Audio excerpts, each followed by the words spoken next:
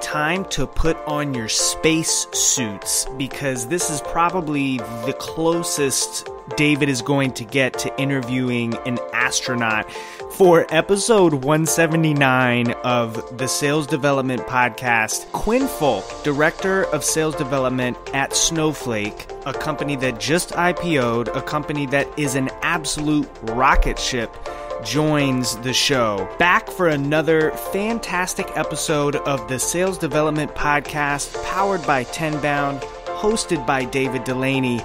My name is James Bodden. David wastes zero time in this episode, kicking things off with Quinn's journey into sales development, how he got into the role at Snowflake.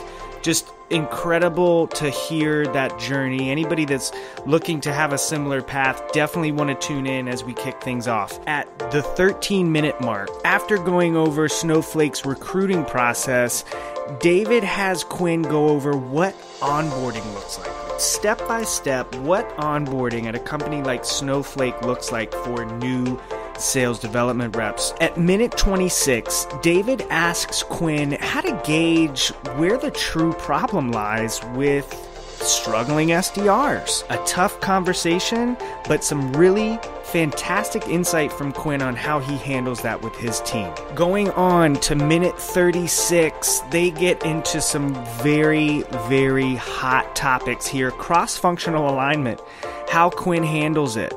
That leads into a conversation about the effects of sales development rolling up into marketing. At minute 44, David and Quinn go over the importance of learning from the front lines. And Quinn makes such a great point about the moment you lose that touch with the front lines is the moment you lose your relevancy. Just such a great episode for anybody that wants to hear what modern sales development is all about at a company that is just on the rise, an absolute rocket ship that is Snowflake. So, as always, if you enjoy this episode, feel free to leave us a review, leave us a rating, head over to tenbound.com, and with that, enjoy episode 179 of the Sales Development Podcast. Hello, hello, hello, everybody. Welcome to another edition of the Sales Development Podcast. I am joined today by Mr. Quinn Fulk, Director of Sales Development over at Snowflake. How you doing today, sir? I'm great, David. Thanks for having me. Oh man, thanks for coming on. I mean, there's just so much momentum behind what you're working on. I cannot wait to dive in. You know, Snowflake looks like it's just this rocket ship from the outside, so we want to get the inside scoop. How did you get into sales development and, you know, end up over at Snowflake? Yeah, solid question. So, you know, through most of my 20s, I did a lot of different blue collar sales. I was a ski bum for a while and I managed a business where we sold the ph- photos at the top of Steamboat Mountain. And so I kind of got that sales itch, doing everything from selling photos to selling windows and siding. I sold cars for a little bit. You know, I had one job where I was selling tax resolution services. So I was calling 400 people a day in businesses that were delinquent on their state or IRS taxes. So I got the bug and then, or bit by the bug. And then I finally got my big break. I was on a ski lift actually with a friend named Mike Davis.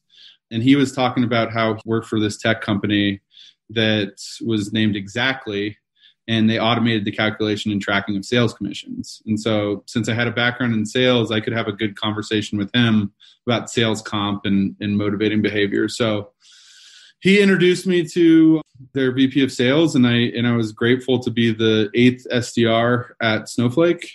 We scaled the Denver office to about twenty, and you know, about a a year and a half into my time at Xactly, I was at this juncture where I either go full cycle sales or there was a leadership path. And having managed retail sales businesses, there was an appeal to the management path. And at that juncture, you know, I was aware that I was a little late to the sales path and that with all due respect, sales reps themselves are, are a dime a dozen, but there's not a lot of people that specialize in sales development. And then you add that to the fact that Denver was emerging as a hub for inside sales where, you know, companies were following the Xactly model of building out satellite offices in Denver. You know, I took a look around and saw, hey, maybe this could be something that I could hitch my wagon to and really double down on sales development. So I went into leading a team. I did that for about a year. And then it came to the point where, you know, we went through an IPO and it was my time to go out on my own and build a SDR team from scratch. So I built out a team in the test automation space called Eggplant. And so I was building out a team in Boulder, Colorado, and a team in London. So I got that international experience. That was a lot of fun. I briefly went into full cycle sales while I was at Eggplant, and it was a, it was an eye opening experience where, you know, I had I had a deal that kept on kicking out, and you know, after a few months, it finally finally brought it across the line, and my my VP of sales was like, "Aren't you aren't you excited? Like, don't you get that thrill?" And I didn't. I didn't. I didn't have the thrill at all. I felt relieved. You know, I didn't want to go to the bar. I wanted to to go home, have a sandwich, and take a nap. And so that was a moment where I realized, hey, like, you know, I don't get the rush out of bringing the whale across the line.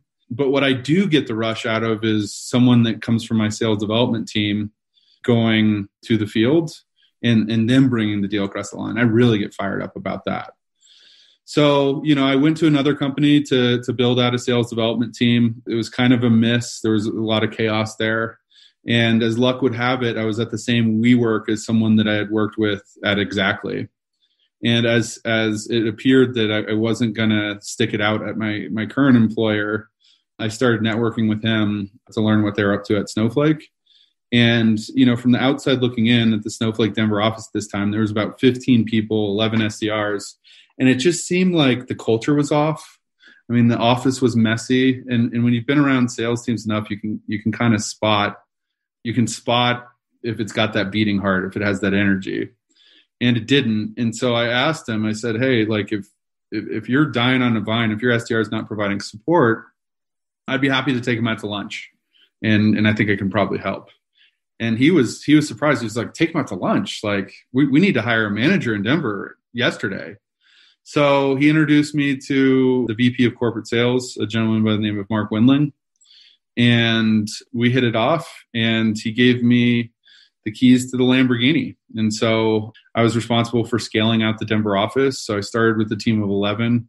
We scaled out the Denver office of SDRs to about thirty-five at the peak and then in that, we're both the revenue pipeline, but also the talent pipeline for the corporate sales org. So in my time at Snowflake in Denver, I want to say that we've promoted around 50 SDRs. And what I'm really proud of is that the rate at which we're promoting people is is at least 2x the rate that people are churning out of out of the org. And in sales development, you know, recruiting retention is is one half the battle. And so if we can keep that ratio two to three x, promotion to churning, I think that we're doing a pretty good job. So now we're at a point. I've been through a handful of different global leaders. Right around the time I was hired at Snowflake, I was I was blessed to roll up to a woman by the name of Nicolette Mullenix, and Nicolette is just like a rock star in our world. And she brought some. She she watches my blind side, and she brought some scalable processes to the org, and I and I learned a whole lot about you know the differences between the my background in series a series b series c to you know building a scalable infrastructure at a at a really large organization. And so now we're at a point where we're probably going to double the size of the sdr org going into next year. So globally we'll be around 150 sdrs close to 100 of those will be in north america. And i'm responsible for the eastern half of the united states. So SDRs in Denver and Atlanta offices that support our enterprise and major segment, as well as SDRs supporting the public sector. I like how you call it the revenue pipeline and the talent pipeline because they're they're kind of intermixed, right? So that's amazing, dude. So tell me about. I mean, there must be so much recruiting, onboarding, training, coaching. How do you stay ahead of it when all these people are getting promoted? Because things are going great or they're leaving the company. Yeah, I mean, David, I'm sure you you've seen it at every company you come across. I mean, the recruiting retention is the most important part of my job, and it's it's nonstop. If we're doing our job right, then people are being promoted. If we're not doing as good of a job, people are being termed. And you know, if we're if I'm associating myself with the right organization, we're scaling. So when you're scaling at the same time as backfilling promotions, you got a big hill to climb. And so, I mean, I'm I'm pretty active on LinkedIn, and the reason I am active is because it's it's critical for the recruiting funnel. I probably get, I don't know, I want to say five to ten people a week that reach out to me about jobs at Snowflake, and maybe one or two of them flesh out. And so I view that as as a core competency of my role is is getting people interested in joining the organization. And then your your question about like the different aspects of recruiting and training. I mean,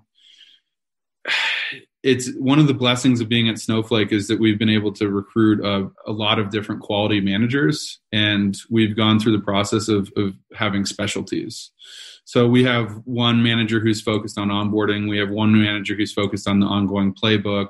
We have another manager who's focused on recruiting and, and they put on the recruiting sessions. Then we have another manager who's focused on, you know, cross-functional alignment and partnership with the field. And so we really have to have trust. A lot of us have that background working at smaller organizations where you have to juggle everything and so now we have to trust each other that, hey, someone else is going to run point on this project that I know really well, but I can't do that in addition to my project.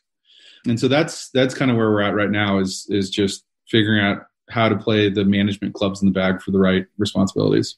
So interesting because yeah, exactly. So if you're a SDR manager with like you know eight people, you're doing the onboarding, the playbook, the recruiting, the cross functional relationship, you're kind of wearing all those hats, right? So what you've done is because you've been able to grow, each person has their specialty. Absolutely. And like, we'll, we, we, I mean, maybe team of rivals is too intense, but like there's dissenting opinions. And we try to foster an environment where people can disagree without being disagreeable. However, like to be scalable, we have to have someone that's that you know the buck stops there for the different responsibilities of the of the org. Got it. And is there like a refresh, you know, cadence? And so if someone's in charge of onboarding, the playbook, the recruiting process, the cross-functional thing, how do you manage to it's it's like one huge project, but everyone's doing all these different things. How do you keep that whole thing on track? It's a good question. I mean, I don't think that we do it perfectly. Like you said, it's like a evolving projects. I think that when you find something that works, that you stick to that and you kind of take things off the plate that don't have to change. So, for instance, in the COVID era, since we're doing recruiting is that much more challenging if, if people aren't coming into the office for interviews. And when we're scaling at the rate that we have to, like it's a bandwidth strain on every manager. And so we've developed a process. My, my colleague Matt Schreiber has has really done a phenomenal job building out this process where first step is a phone screen and every manager or director is, is responsible for getting three to five phone screens across the line a week, right? And then from the phone screens, we schedule group interviews.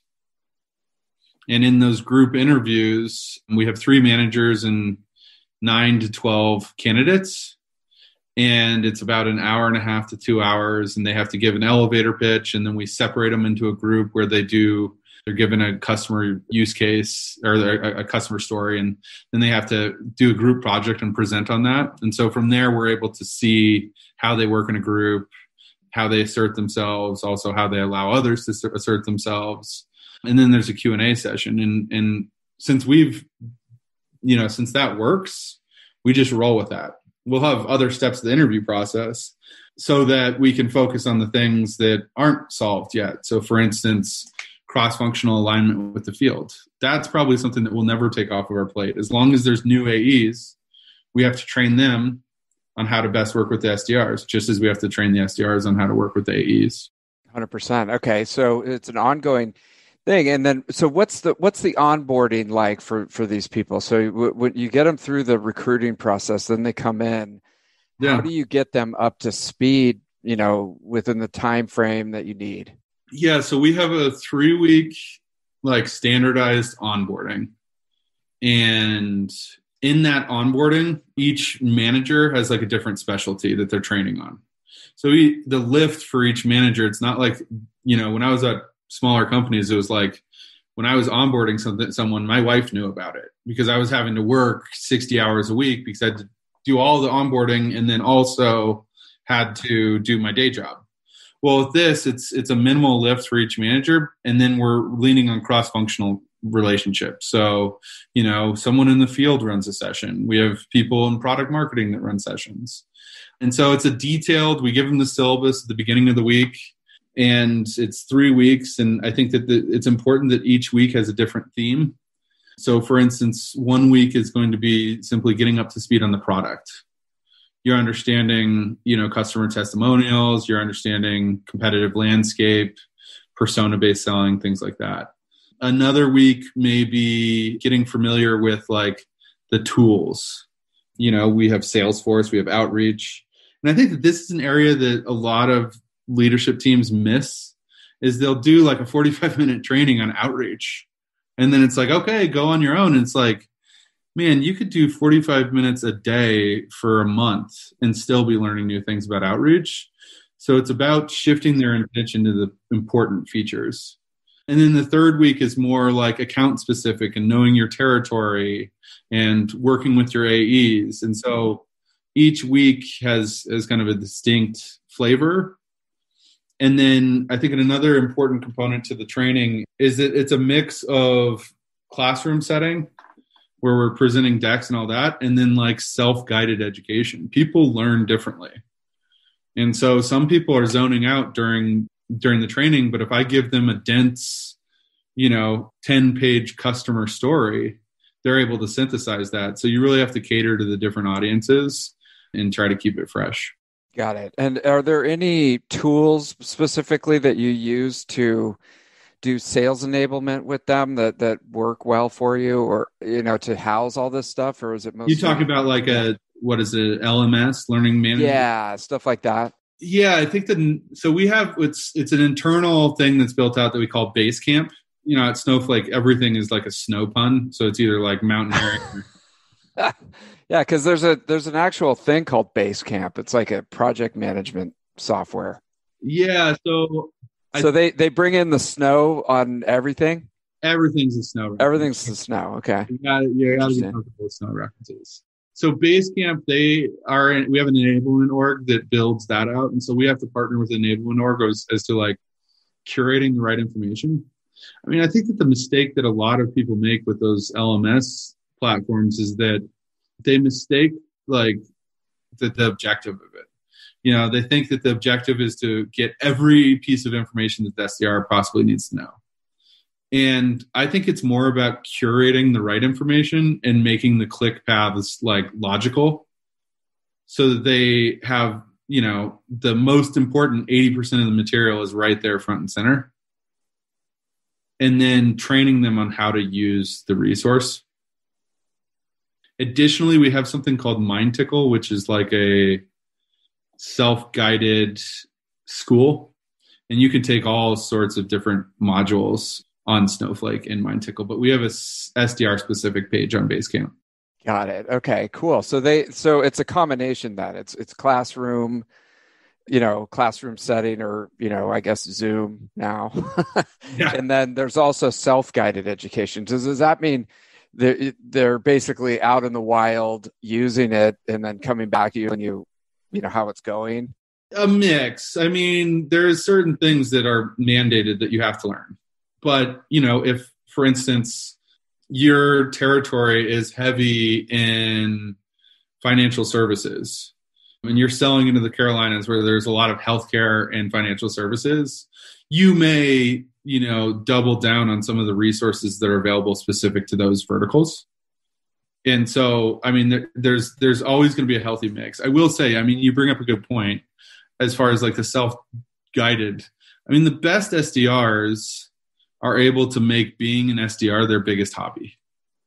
And so like for the 18 months that you're in the seat as an sdr maybe you, you stop watching netflix right? And in its place you read sales books you listen to to great podcasts like your own you're really understanding the market that you're selling to and the companies that you're selling to. You create the google alerts. You you, you put in the legwork to treat this like an apprenticeship. You know i'm 36 right? That's how old i am. And so a lot of my friends are, are now becoming doctors and lawyers. And I saw what they had to put in to get to where they are right now. And I have that same expectation of SDRs that they make the job itself their biggest hobby. Such a good point. There's a book called Art of War by Steven Pressfield. He also wrote one called Turning Pro, you know, and it's like he's got the same.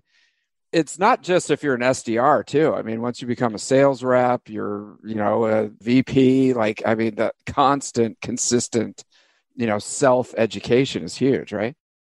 Yeah. The guy that I mentioned that I met on a ski lift that got me my first SDR job, Mike Davis, he's he's very big on being entrepreneurial with your career.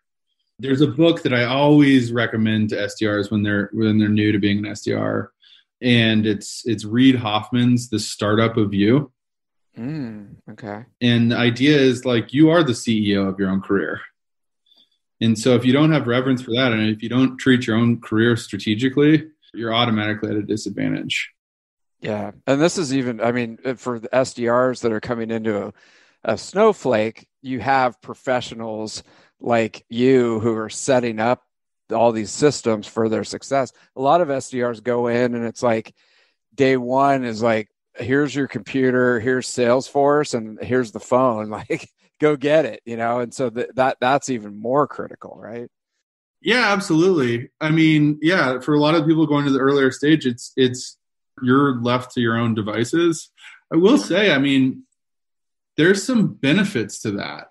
I think that a lot of sales orgs, as they get more mature, they over engineer the enablement to the detriment of the SDR in that they're hand holding them too much. And you know, I I took my son skiing for the first time this weekend, and like I was kind of skiing him. I was like holding him and barely letting his skis touch the ground, right? And I know that he's not really going to learn until you know he's left to himself.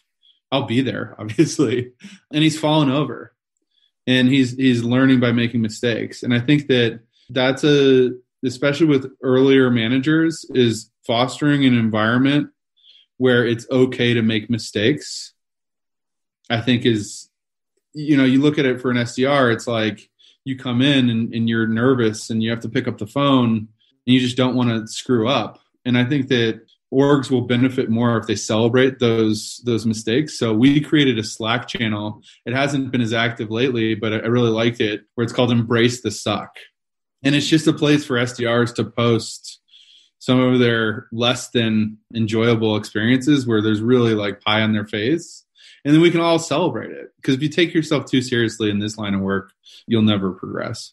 Oh it's too hard. And dude so what if they come to you and they're just like look i tried everything man. I mean i've tried everything and, they're kind of depressed. Like they've been there for a while and they're like i went through the onboarding and I, i'm doing all this stuff and it's just nothing's working for me. Like what do you do with that? I don't know. There's there's two hats that I wear here.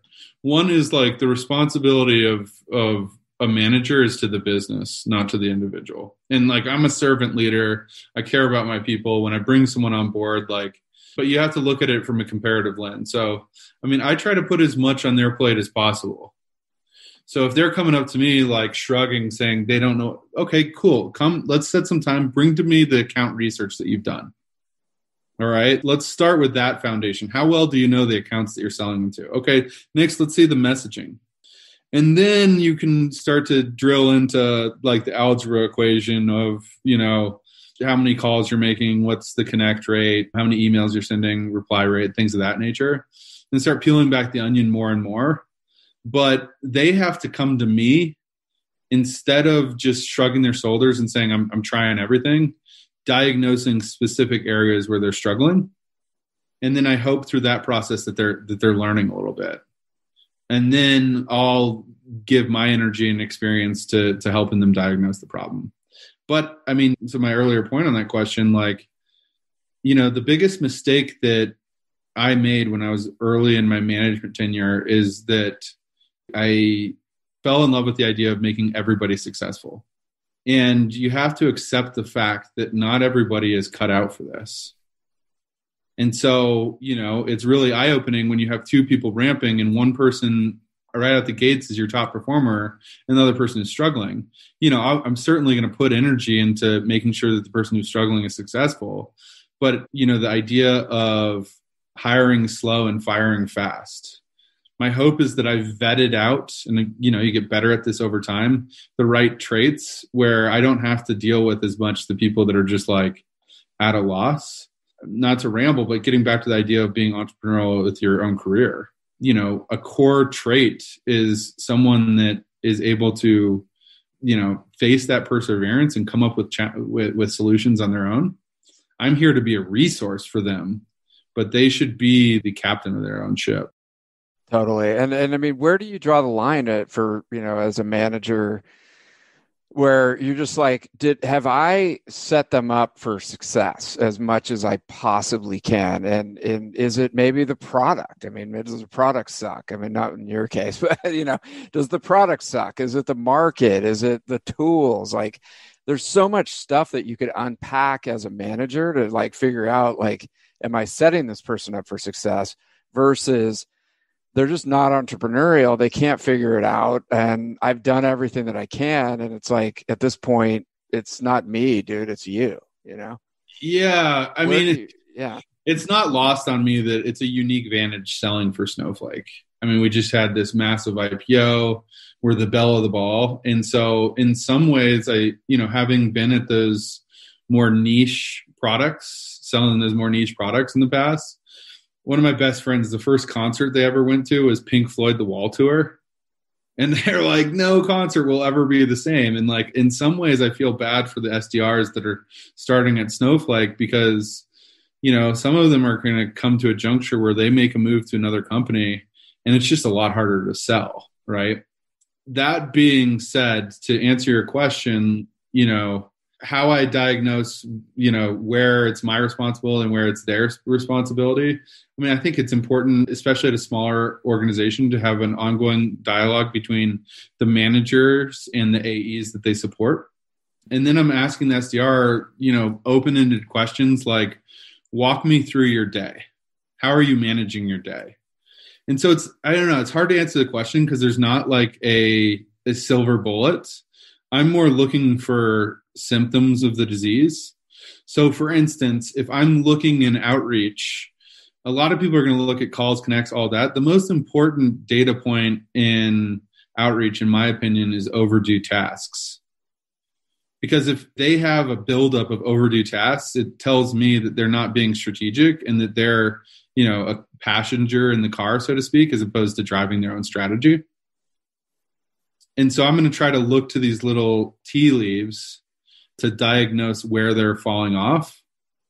And then, I mean, it's a scoreboard. One of the beauties of being in sales is that it's a make or miss business. And so, you know, I'm going to give them all the resource, all of that. But if they're grossly underperforming right out the gates, and other people we bring on board with the same training, the same enablement are blowing the expectations out of the water, I start to manage expectations and set, you know, daily, weekly goals for them. And if they start falling off of those you know you got to focus on the front end on on the inputs.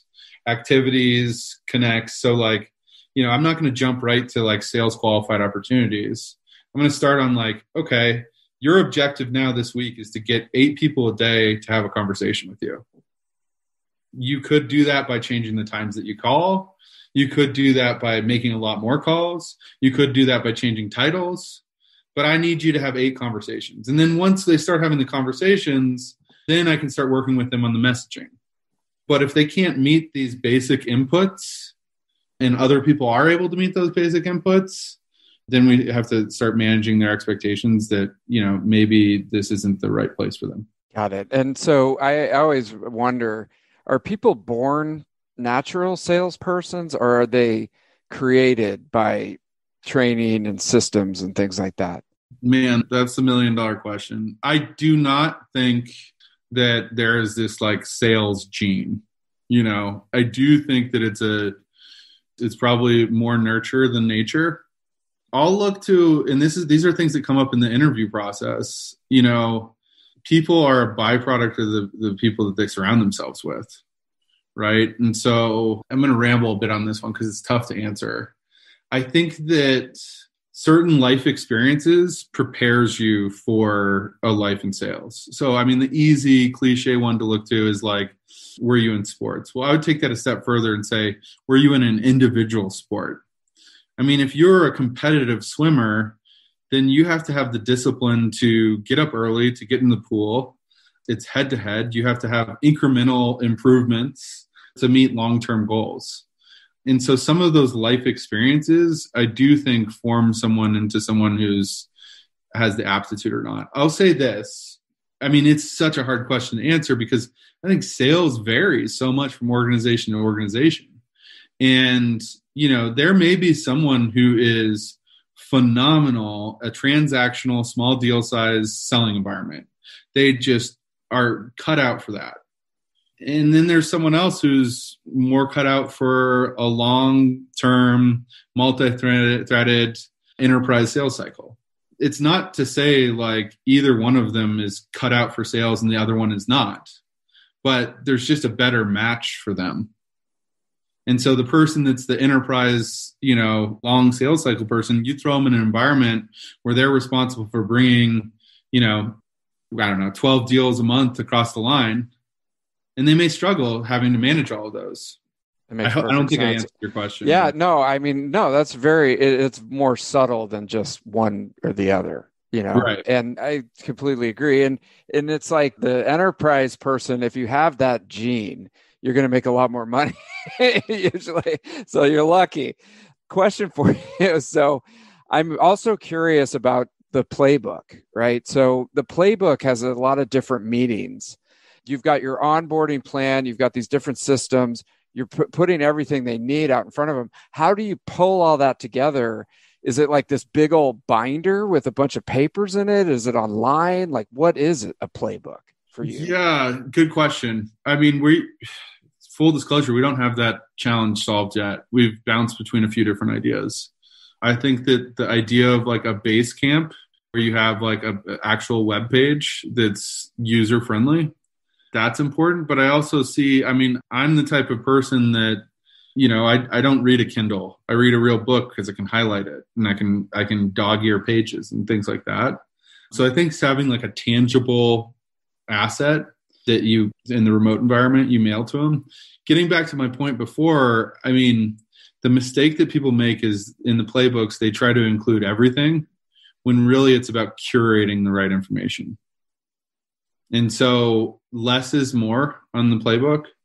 I also think in conjunction to a playbook most orgs i've been at something that's really beneficial is just like laminated cliff notes. You know like a one ring four or five different laminated pieces that breaks into like the key pieces of information so that when someone's new in the role they have something that they can just i don't know have as like a security blanket so they feel less intimidated. I feel like they don't necessarily use it all the time. It's just the simple fact of having something that's really really distilled the important call it talk tracks or ideas that they can just have on hand if they ever find themselves in a tricky conversation. I love that. I love that. So you just like you can even tape it up, you know, next to your computer. Just if you get in trouble, look over, you got it right there. So, yeah, I mean, yeah. and and then some of that's just based. I mean, maybe this relates to your question earlier about if people are born salespeople. I mean, there's a certain point in an SDR's journey where they realize that the best answer they can give to a question is, even if they know the answer, is, you know what, that's a great question. I could take a stab at it, but you know, based on what you're saying, I think that there's a lot of value in you having a more detailed conversation with my colleague. And if you know that and you know how to punt to the next, con- like that's part of the job. Then, of course, you still have to qualify a little bit but knowing not when not to answer the question is is just as important as knowing how to answer the question. Just pivot pivot it over there. Last question for you. Cross functional alignment. I mean that's like the evergreen topic right? I mean and and it's it's much easier said than done.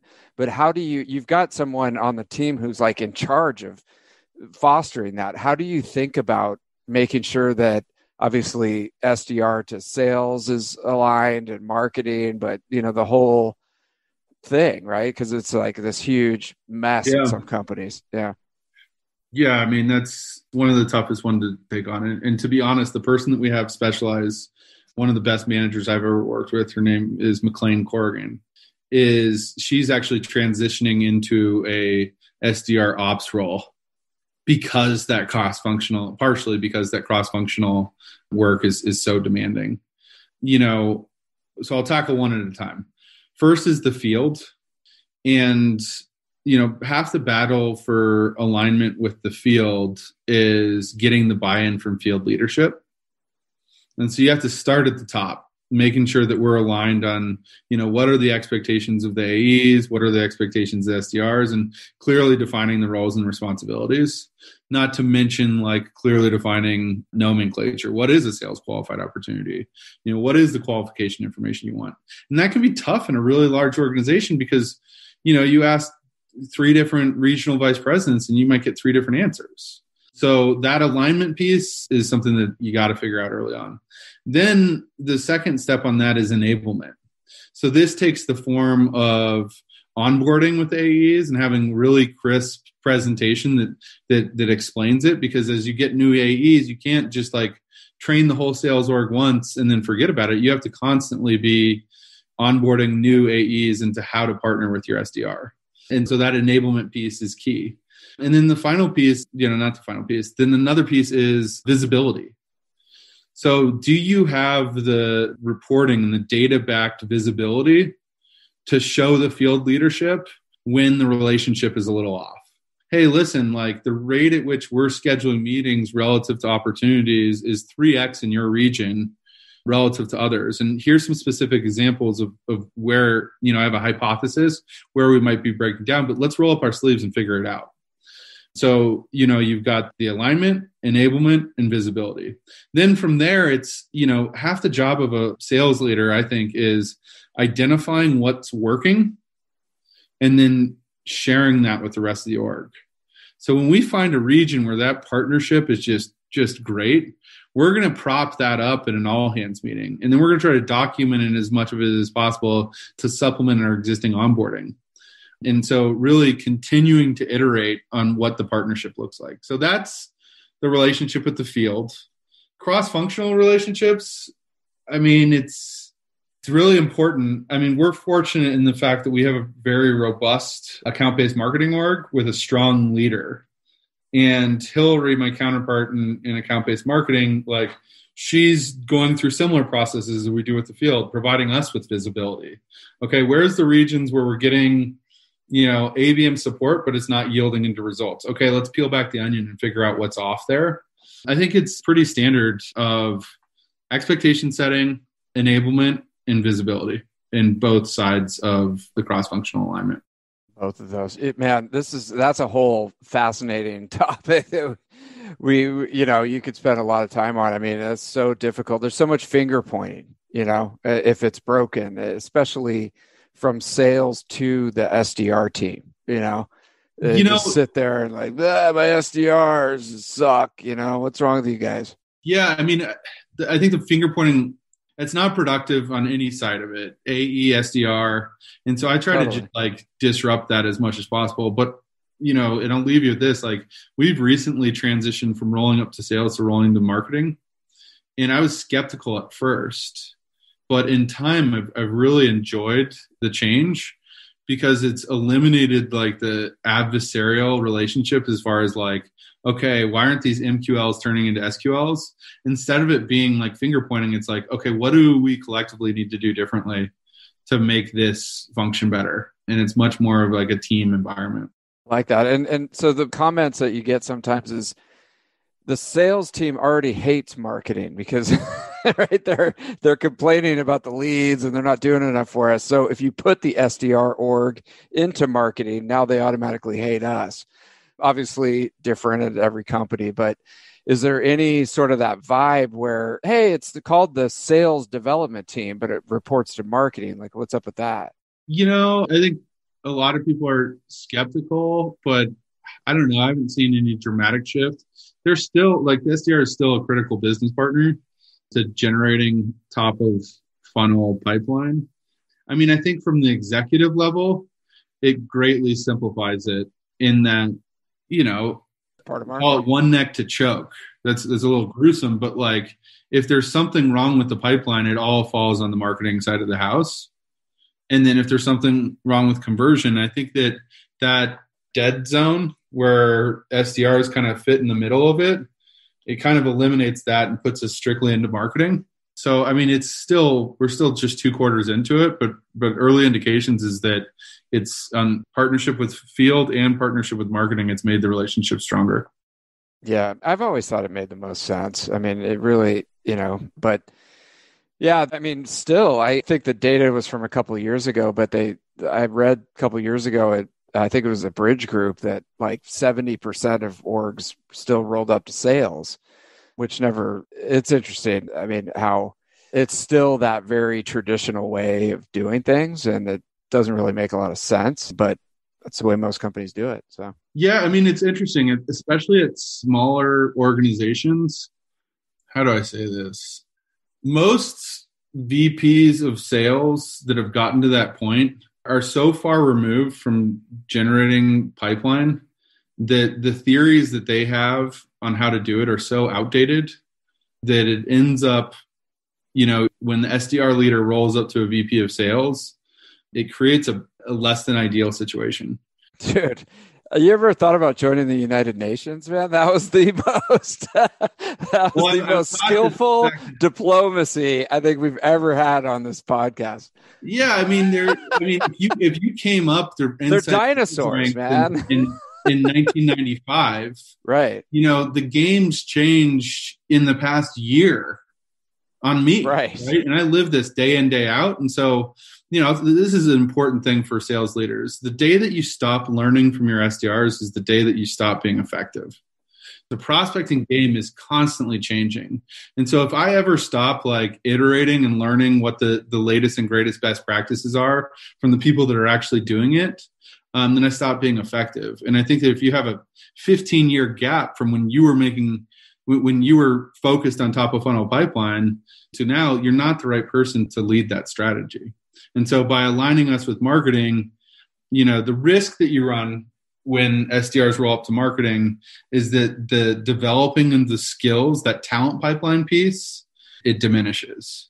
And so it takes a proactive effort to make sure that they're not becoming glorified marketers where they're just spamming people that they're still developing those fundamental sales skills of cross you know multi-threaded selling building value qualification things of that nature that are going to prepare, prepare them for the next step in their career.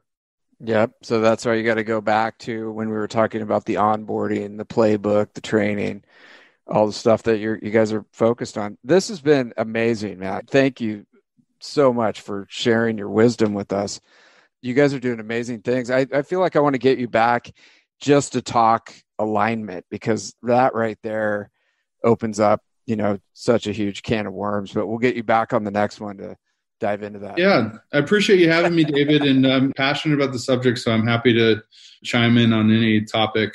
I'm rarely at a loss for words, so I'm happy to help out however I can. Yeah, we appreciate you coming on, sharing your wisdom with us, and being on the Sales Development Podcast. So, Quinn, thanks again, and we can connect over on LinkedIn. Is that is that the best way to reach you? Yeah, definitely. The always the best way to reach me is in my LinkedIn inbox. The mail gets buried. Yep, and he's hiring, so get with him and impress him because it's a rocket ship. Great. Thanks, Dave. Thank you. Have a good one. Thank you for listening to the Sales Development Podcast, the only audio forum 100% focused and dedicated to sales development, with your host, David Dulany. Please be sure to subscribe to the show on YouTube and take a moment to leave us a review on iTunes. Your support makes our show possible. If you are struggling with your sales development program, contact us at tenbound.com for a no obligation exploratory call. Again, that's tenbound.com.